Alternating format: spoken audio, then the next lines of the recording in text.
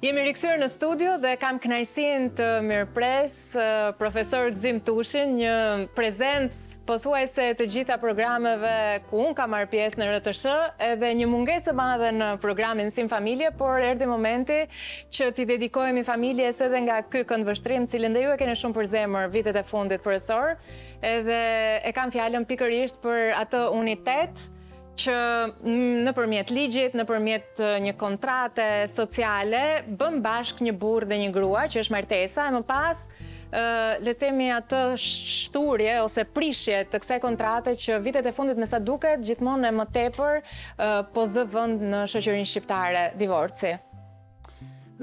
Shikoni, pa diskutim, familja shqiptare ishte e detyruar të, të reflektonte proceset e evolucionit ose kalimin e shoqërisë në etapën moderne dhe postmoderne të saj.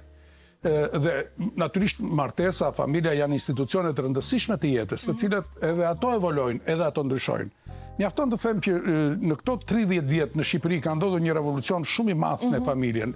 Kemi kaluar nga ajo familja e dikurshme, familja tradicionale, numeroze, mhm. me shumë kurora brenda, më kompakte, më e lidhur, me këto lidhjet e fisnikërisë, të gjakut edhe të fisit e tjera e tjera, drejt një familje gjithmonë më shumë dinastike, mhm. bërthamore, domethënë, familja tradicionale gradualisht është në kapërcyell, është duke u zëvendësuar, mhm. Sigurisht më shpejt në zonat metropolitane, në zonat urbane, po gjithashtu edhe në zonat mhm. rurale, dhe kjo ka sjellë një ndryshim të strukturës së familjes dhe të funksioneve të saj. Mhm. Po sigurisht, baza kryesore e krijimit të një familjeje janë natyrisht lidhjet e çiftit dhe doemos edhe martesa. Dhe martesa ka pësuar ndryshimet e saj. Mhm. Nuk është më ajo formë e vjetër klasike e martesës, tani janë Të gjitha format e mundshme dhe ju e shikoni që gradualisht de po- facto de jure Po e para kemi filluar të kemi kujtun, të kemi pranuar bashkëjetesën që gati gati është bërë legale, mhm. nesër do marr do pranojmë dhe martesa diverse mhm. që sot jemi duke diskutuar, po mhm. nesër do vijë që është fjala për martesa të një tipologjie tjetër. Vazhdojnë të jenë këto martesa që një pjesë e tyre bëhen me mblesëri, një pjesë e tyre bëhen nëpërmjet dashurisë. Një pjesë prej tyre bëhen në mënyrë virtuale, janë shtuar lidhjet që krijohen sot nëpërmjet internetit dhe po. një pjesë prej tyre përfundojnë. Mhm. Pavarësisht se të gjitha format kanë skarcitetin e vet, kanë të mirat e veta, kanë dhe dëmet e veta. E doemos në kohën e sotshme krijimi i familjes ka filluar të ketë ndryshime shumë të mëdha. Sepse në qoftë se martesa në të kaluarën kishte disa amortizatorë socialë, domethënë kishte një sistem vlerash të precizuar, mhm. mënyrës se si lidhesh, ritualet e saj, një lloj garancie sociale, një lloj garancie familjare. Sot ka filluar të jetë një çështje thjesht dhe kryesisht dhe tërësisht gati do thosha individuale. Mm -hmm. Dhe sot janë njerëzit vetë ata që lidhen, që vendosin për një martesë, të cilën e realizojnë në forma të ndryshme dhe e vazhdojnë ose e shkatërrojnë në mënyra të ndryshme. Mm -hmm. Sikurse është dhe çështja që është prania e në rritje e divorcit në shoqërinë e sotshme. Domethënë, krahas demokratizimit të familjes, krahas modernizimit të saj, krahas emancipimit të femrave në në jetën e sotshme dhe mm -hmm. sociologët thonë që është një arsye edhe rritja e nivelit kulturor sepse keni parasysh po të kujtoni jo maman tuaj, po maman time, mm -hmm. ato hynin në martesë dhe dorëzonin gjithçka dhe i bëheshin pronë e familjes, kishin funksion të një makinerie prodhuese mm -hmm. që mhm. të bënin fëmijë, Pastaj të një lloj edukatore që duhet të rriste fëmijën, mhm. duhet, bënte, duhet bëhej amvisë shtëpie, kurse femrat e sotshme, së pari njëherë janë me materie tjetër, kanë interesa të tjera, mm -hmm. kërkojnë karrierë, kërkojnë sukses, kërkojnë para, kërkojnë të jenë dikush, dhe kjo nganjëherë krijon kërcitje dhe... U rri shtrënguar ndoshta... U rri, u rri shtrënguar ky funksioni tradicional i gruas mm -hmm. shqiptare. Mm -hmm. Domethënë që ajo duhet kryente këto funksione.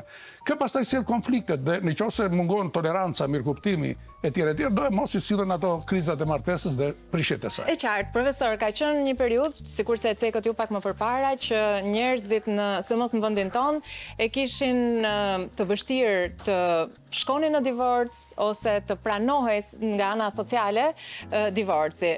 Vitet e fundit për fat të mirë, 30 vitet e fundit, ky është një element që është liruar dhe ka çliruar edhe shumë familje që kanë vazhduar të qëndrojnë për për hir të nuk e di përse bashkë, ama sipas të dhënave të fundit nga Eurostat, duket se krahasuar me rajonin, Serbia dhe Shqipëria mbajnë rekord për ndarjen e familjeve, për divorcet. Serbia me tridhjetë familje, tridhjetë divorce për njëqind martesa, ndërsa Shqipëria njëzet e gjashtë divorce për njëqind martesa. Ndryshe nga Kosova, me vetëm katër pikë gjashtë divorce në njëqind martesa, apo Maqedonia dhe Mali i Zi, edhe ato me me një përqindje të ulët krahasuar me vendin tonë. Çfarë ndodh në Shqipëri që megjithëse ngjajmë pak a shumë me Kosovën, megjithëse ngjajmë si temperament, si humus social me me vendet e rajonet që na rrethojnë, jemi përsëri disa shkallë përpara për sa i takon numrit të divorceve. Shikoni, divorci ka ekzistuar edhe edhe tridhjetë vjet përpara, domethënë ka qenë një një nuk ka qenë dukuri kaq e dëndur, kaq tipike, domethënë raporti midis martesave dhe divorceve, Shpërpjestimi ka qenë jashtëzakonisht i ulët, sepse atëherë martesa ishte një institucion edhe i ideologjizuar, edhe i moralizuar, pra në një farë mënyre, rotull martesës, lidhja ishte në çift, por gjykimi për martesën ishte edhe i familjes, edhe i shtetit dhe i shoqërisë, e tjerë e tjerë dhe në të kaluarën 30 vjet përpara të bëhej divorci ishte shumë e vështirë, duhet të kishe motive shumë të forta që të realizoje divorcin. Dhe një nga ato që e mbronte, ose që e sulmonte divorcin ishte shteti. Pra duhet të kishe arsye shumë të mëdha dhe prandaj divorci në atë kohë ka qenë i ulët, jo se nuk ka pas probleme martesa, jo se nuk ka pasur çifte që nuk shkonin me njëri tjetrin, që kimia, biologjia, mhm. seksualiteti, moraliteti nuk funksiononin me njëri tjetrin, por ishe i detyruar kur hyje në martesë Tamam hyje si në një lloj burgu dhe s'dilje dot më prej tij, aty do qëndroje. Edhe pse e doje dhe se, se nuk e doje dhe se të kishte bërë ato, se të ishte i dhunshëm, i padhunshëm, sepse në atë kohë shoqëria shqiptare për shembull bie fjala e kishte në kodin moral të saj të thoshe që po ama se bashkëshorti të rreh, nuk është ndonjë gjë e madhe, duro, se ja do të rrahë tani po më mbrapa nuk do të rrahë, etj etj. Dhe kjo ishte tamam një skllavërim i gruas. Sigurisht, në, në, në, në Europë ndryshimet filluan pas viteve 70, koha e revolucionit seksual, kur gruaja, femra, doli nga biologjia e saj. Pra e kuptoi që, ore, unë jam njeri, jam qenie si gjithë të tjerët, kam trupin tim, është pronë private, kam seksin tim, që është prona ime. Mhm. Dhe, dhe ky liberalizimi, se, ky revolucion seksual, solli shfaqjen e divorcit, sepse dhe familja europiane, mhm. para viteve 60-70, ka qenë familje viktoriane, familje me, me, me, me numër të ulët divorcesh, mhm. pra edhe atje korniza morale e shoqërisë nuk e pranonte divorcin. Në kohën e sotshme pa diskutim, gjërat kanë ndryshuar dhe divorci ka marrë përmasa shumë të mëdha. Sigurisht, ju sollët këtu vendet kryesore të rajonit, se ka vende të tjera që e kanë akoma të thelluar, për mhm. shembull, Shtetet e Bashkuara të Amerikës, megjithëqë thonë divorci është një turp social, Pra, e kanë... E kanë të papërmbajtshme, a? Po, pra, sigurisht, atje kanë arritur 50%, pra do të thotë në dy martesa një prishet. Unë e dija një në 4 te ne, aqë, njështë aty, është rritur çikë, nga 25 ka vajt 29. Po. Domethënë, i jemi afruar familjes çeke, familjes hungareze, këto mhm. vendet që janë... Të lindjes. Këto të lindjes, po që kanë qenë vende... Po, me historin tonë. Po, me historinë tonë. Komunizëm. Kështu që rritja e numrit të divorceve, është natyrisht pasojë ka disa ka disa faktorë. Uh -huh. Faktori i parë dhe më i rëndësishëm është një lloj mungesë përgjegjësie ose mendjelehtësie në lidhjen e marrëdhënieve në çift. Unë e kam thënë edhe herë të tjera dhe kemi diskutuar bashkë.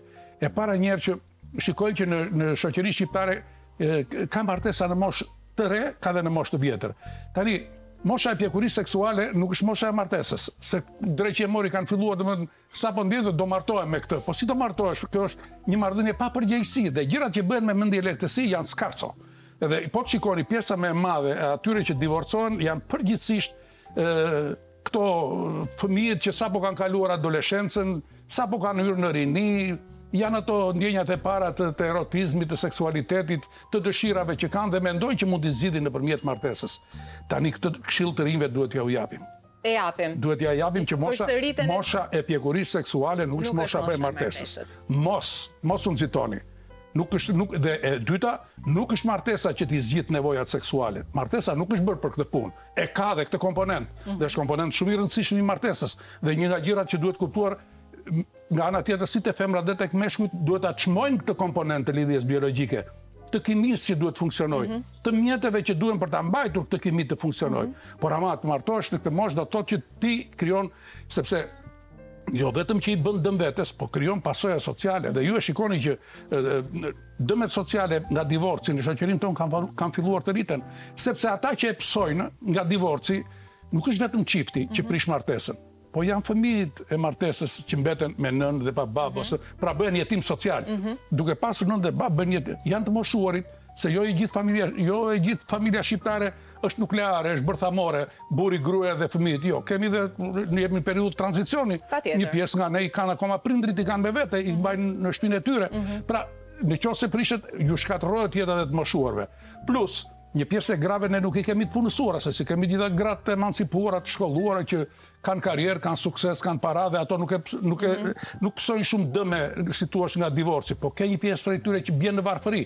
Pra një grua e cila s'është në punë, ka dhe nja dy tre fëmijë, dhe divorcohet nga burri, e mhm. divorcon burri, ajo menjëherë bëhet një bie në varfëri dhe kjo i shton shumë problemet sociale. Mbi të gjitha është problemi i fëmijëve. Fëmijët, domethënë, pësojnë dëme shumë të mëdha. Studimet tregojnë që fëmijët me, me prindër të divorcuar gjithmonë janë problematikë. Gjithmonë kanë probleme. Sepse rolin e prindërve nuk e zëvendëson dot as shkolla, as institucionet e kujdesit social, as kujdestari që mund t'i marrë që mund të jetë gjyshi, gjyshja. Psikologu më vonë? Psikologu e di ata që janë që janë arkitektët e vërtetë të një, të, të, të fëmijëve që Janë rriten me prindërit. mbarësi janë prindërit. Dhe kjo ka bërë që e, kjo ka bërë që herë pas here numri numri i divorceve vjen pikërisht për shkaqe të tilla të natyrave të ndryshme. Ë këtu tek ne natyrisht janë dhe arsye të tjera që kanë të bëjnë me me xhelozinë sepse Ballkani ju e dini që Ballkani ka çik xhelozi më shumë se ç'duhet, i kanë sytë jeshil meshkujt. E po me gjithë kanë dhe femrat. Edhe femrat. Edhe pra edhe gratë. E çuditshme. Më vjen profesor se unë e dija që unë e dija që meshkujt janë me sytë të mëdhenj dhe jeshil që ruajnë, kontrollojnë. E kjo pikërisht mungesa e besimit ose ndjenja e kontrollit është është një gjë që sigurisht un un jam partizan i tezës që një lloj xhelozie e shëndetshme Tregon që e do partnerin, pa diskutim. Se në qoftë se ti je indiferent ndaj partnerit, s'e ke në defter do të thotë që ka vdekur lidhja, s'funksionon biologjia. Po, në qoftë se xhelozia bëhet delirante, bëhet obsesive, bëhet e sëmurë, bëhet patologjike, po ajo dreq martese nuk funksionon dreqi e mori. Dhe edhe femra në këtë rast, një burrë xheloz, po edhe mashkulli me një grua, Hiperxheloze që s'të lë. Duket sikur meshkujt e përballojnë më mirë gati edhe me një lloj kënaqësie. Po këto nuk janë të dhëna shkencore, janë vrojtime nga të tërthortë. Të dy e kanë, të dy, natyrisht, meshkujt, meshkujt, tani, tani kanë dalë këto të femrave që janë, këto femra që... Që shprehen lirshëm për xhelozinë, Po, po, këto që, këto që kërkojnë të të mbajnë të lidhur pas rripit të fustanit të tyre që mos të shkëputesh as një sekond. Kjo ndjenjë kontrolli dhe kjo është një një element tjetër që ka ka raste të tjera që kanë të bëjnë me me me një lloj xhelozie për shkak se marrëdhëniet marrëdhëniet vërtet janë marrëdhënie në çift, por janë marrëdhënie të personalizuara, secili ka ambiciet e veta, synimet e veta. Ju e dini që meshkuj ka meshkuj këtu tek ne që nuk e kanë shumë qejf progresin e gruas, pra në një farë mënyre Akoma ne kemi një pjesë e divorceve vijnë për arsye sepse meshkujt kërkojnë të vënë kufirin midis asaj që lejohet dhe që ndalohet dhe asaj që ndalohet gruas së tij. Ajo nuk mund ta pranojë këtë mungesë lirie. Tani ajo ka hyrë në martesë apo ka hyrë në burg? Se nëse ka hyrë në burg, më mirë të dalë nga burgu dhe që të dalësh nga burgu, i vetmi mjet është divorci. Në fakt, Kjo ishte një kjo ishte një nga pyetjet e tjera profesor sepse folët shumë për emancipimin e gruas dhe le të themi fuqinë që i ka dhënë ana ekonomike asaj brenda marrëdhënies, por me sa duket nga ana tjetër kemi gjejmë një burrë në Shqipëri, po ndoshta edhe jashtë, ende të papërgatitur dhe jo të gatshëm të kontribuojë me të njëjtën energji dhe forcë në marrëdhënie, por disi trembur nga ky hov Që mund të ketë marrë gruaja së fundmi. Rina, ju ky konstatim është shumë i drejtë dhe kam përshtypjen që po bëhet një plagë e rëndë sociale ekzistenca e burrave vanitozë, e burrave dembelë, e burrave që merren me gjëra koti që nuk mbajnë përgjegjësi për familjen, që këta janë thjesht meshkuj. Po unë besoj që femra që hyn në martesë nuk ka nevojë për mashkull, thjesht për mashkull.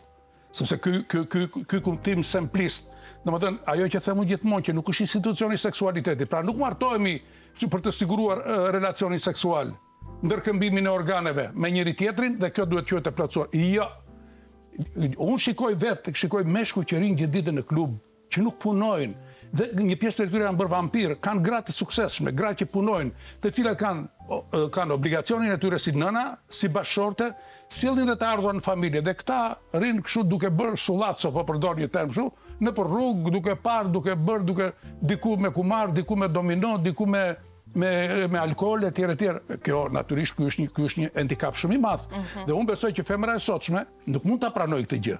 Nuk mund të pranojë një burrë dembel, një burrë për nder mund të pranojë ndonjë shkelje tjetër që mund të negociohet, se fundja hajde, se ka përgje dhe ristabilizohet, sesa faktin që është dembel, ose është që nuk, nuk do të marrë përsipër përgjegjësitë familjare. Kështu që unë mendoj që e, e, Këto ua them gjithmonë edhe vajzave të reja, këta metroseksualët, këta, këta meshkujt kshu që vetëm pispillosen, që duan të, që janë narcistë, kanë rënë në dashuri me veten, dhe vetëm rrinë xhiro dhe rrinë nëpër parukeri e, këto kozmetikat e gjërat që përdorin, gati gati sa femrat, po nuk hanë punën, nuk, nuk, nuk ndiejnë përgjegjësi, ajo, këta nuk janë, nuk janë, nuk, nuk mbajet martesa. Është e vështirë, në fakt, të bësh një analizë të gjithë panoramës, sepse pastaj ambiente të ndryshme kanë shfaqje të ndryshme, por çfarë më duket edhe më e vështirë ditët e sotme profesor dhe kjo mbështetet edhe nga studime të shumta, ne sot si njerëz të kohëve në të cilat jetojmë, duam të kemi gjithçka. Duam të posedojmë gjithçka, duam të provojmë çdo eksperiencë, jemi të martuar po duam që të shohim edhe se si mund të jetohet nëse ë ndodh një një si e quajtët? Flirt pjesëmarrësor, një lidhje, po. Po po duam të dalim edhe me shoqërinë, po po duam të kemi edhe daljet me familjen. Pra, domethënë, nuk nuk jemi të gatshëm të heqim dorë nga asgjë. Dhe në një hark kohor të shtrirë në dekada, në marrëdhënie me një partner, Duket sikur humbet gjithmonë e më tepër interesi ndaj njëri-tjetrit. Tani, dikur një martesë pesëdhjetë vjeçare ishte e zakonshme dhe nuk quhej çelësi i suksesit ose sekret për t'u zbuluar. Ditët e sotme, nëse ti zbulon një çift me tridhjetë vite martesë, fillon dhe interesohesh se cili ka qenë çelësi i suksesit të marrëdhënies tyre. Si do t'ia bëjmë ne në të ardhmen që të kemi marrëdhënie jetëgjata? Qofshin ato nën, po themi, nën firmën e një kontrate apo edhe thjesht bashkëjetesë? Është e ndërlikuar përgjigja. Është aq sa është fizike, aq është dhe metafizike. Domethënë, ideja është që Ato që thotë shumë bukur Barack Obama, martesa do vazhdojë të jetë monogame apo monogamia do kthehet në një mit dhe do vendoset në muze për të thënë që na ishte një herë një kohë kur çiftet ishin monogamë, domethënë ishin seksualisht të mbyllur. Tendenca e sotshme që është ka prirja e përgjithshme është prirja e liberalizimit të seksualitetit. Kjo do të thotë që ka diçka po, po martesës po i preken disa nga shtyllat kryesore, njëra prej tyre pa diskutim është monogamia. Nuk e di, po meqë ma solle këtë, edhe se kisha ndërmend ta thosha, po një nga një filozof që ka 300 vjet përpara Denis Diderot, francez, ai ka thënë që njerëzit do qeshin kur të marrin vesh që janë vrarë për çështje të marrëdhënieve seksuale jashtëmartesore. Dhe do, do bëhen qesharakë që kanë ndodhur për këtë gjë. Domethënë ideja është që duhet, duhet një, një ekuacion i personalizuar. Tani, ju e shikoni që ne jemi përballë fenomeneve siç është poligamia, dhe siç është edhe poliandria, se nuk janë vetëm meshkujt, mhm. që të jemi të vërtetë. Mhm. Ka dhe femra që e kanë këtë gjë dhe meshkuj që e kanë këtë gjë. Tani problemi është, a mund të mbahet martesa duke, duke mbajtur këtë? Kjo është çështje individuale, kjo është çështje individuale. Nuk mund të flasim për sistem. E, në qoftë se historikisht do, do marrim modelin e vjetër të martesës, martesa ka qenë monogame, ka qenë e mbyllur në çift. Tani, do e mbajmë të mbyllur, apo do e mbajmë të hapur, apo në shekullin që vjen do ta bëjmë fare të shqyër, kjo është një çështje që do të, do ta tregojë koha. Megjithatë, unë kam lexuar edhe këto feministet që janë më të, më të, më të tërbuara, më të kështu, më... Që, të zjarrta. Të zjarrta, që, domethënë, që i çojnë gjërat deri në ekstrem. Dhe ka prej tyre që thonë që unë kam qejf të jemi vetëm në atë pjesë sa më takonë. Tani do jemi të vetëm, apo do jemi burri i gruas time, apo burri i gruas tonë, apo grua... E burrave tanë, se na u komplikua. Kjo është një çështje që është në zgjidhje personale, është ka të bëjë pastaj me edukatën, ka të bëjë me formimin, megjithatë sikurse po e shikoni, fakti që Kemi prirje, shikoni, na është ulur mosha e fillimit të aktivitetit seksual. Shikoni, djem dhe vajza të moshës së adoleshencës në shifra në rritje. Eksperimentojnë herët e para, po. Ja po ju jap një fakt, mhm. një studim që po mhm. lexoja. 5% ka qenë në Angli dhe në Shtetet e Bashkuara të Amerikës, vajzat dhe djemtë adoleshentë të kishin marrëdhënie seksuale, deri në moshën 16 vjeç. 23% ka vajtur. Tani. Wow. 14% ka treguar një studim i UNICEF-it para disa vitesh tek ne. Pra, shikoni, po ka një ulje të fillimit të, të aktivitetit mm -hmm. seksual. Kjo natyrisht ka anën e saj, po kini parasysh që kjo po lëviz disa shtylla të tjera të martesës, sikurse kanë qenë këto çështja e virgjërisë, çështja e debatet që bëhen sot, Janë debate që diskutohen. A është vërtet këto lidhjet seksuale paramartesore janë garanci që nuk do të tradhtosh pas martesës? S'është treguar as kjo nuk është nuk është nuk është e vërtetuar. Kështu që kom, problemi është shumë i ndërlikuar dhe shumë kompleks. Edhe nuk japim dot, nuk, nuk parashikojmë dot të ardhmen, po ndoshta një pyetje e fundit profesor, unë do doja të vazhdonim gjatë e më gjatë së bashku me diskutimet se janë të gjitha shumë interesante. Tezat tuaja. A do të mundte institucioni fetar të ndihmonte institucionin e familjes në ndonjë mënyrë, pra duke riformatuar ose përshtatur institucionet fetare të kohëve të sotme me realitetin? Sepse kemi një kundërshti të madhe për çiftet homoseksuale nga ana e institucioneve fetare. Pra nëse vijmë të gjithë bashkë dhe bashkojmë forcat, a mund Shikoni, feja është një nga institucionet e mëdha të sigurisë morale që i ka mbetur shoqërisë postmoderne. Tani janë të gjitha institucionet e tjera kanë rënë për tokë, edhe autoriteti i shtetit, edhe autoriteti i institucioneve të tjera që që kanë pasur ndikim, ideologjitë kanë rënë etj etj. Feja ka mbetur. Praktikisht po të shikoni studimet në vendet sidomos në vendet me besim katolik, mhm.